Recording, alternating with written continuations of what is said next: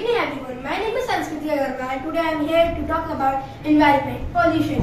We all know environment is very important thing for us and it is get, get polluted day by day.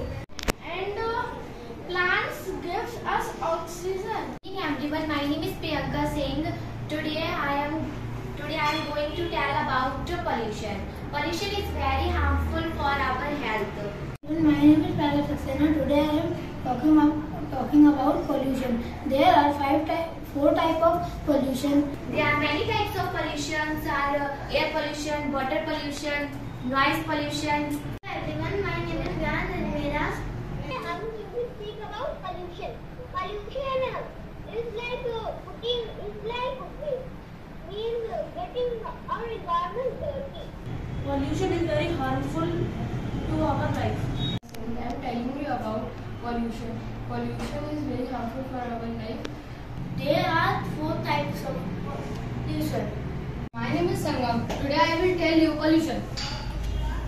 Many types of pollution. Air pollution. There are four types of pollution. So we all know there are pollution of land, air, land, air, water and there are some kind of pollution and all pollution caused by us.